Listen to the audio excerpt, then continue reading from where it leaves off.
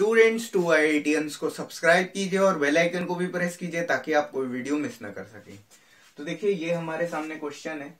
तो इसमें A seventeen A two four हमें निकालना है। तो यहाँ से क्या होगा?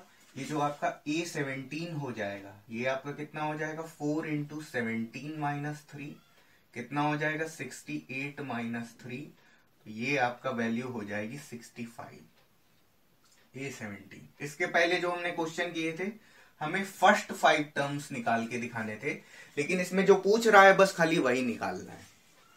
ए सेवनटीन पूछ रहा है तो ए सेवनटीन निकाल लिया। ए ट्वेंटी फोर पूछ रहा है तो ए ट्वेंटी फोर निकाल लेंगे। तो A twenty four is equal to कितना हो जाएगा? Four into four into twenty four minus three ये कितना हो जाएगा? ए टू फोर आपका हो जाएगा। नाइन्टी सिक्स माइनस थ्री तो ए ट्वेंटी फोर आपका हो जाएगा। Ninety three. ये आपका आंसर है। इसको नोट डाउन कर लीजिए।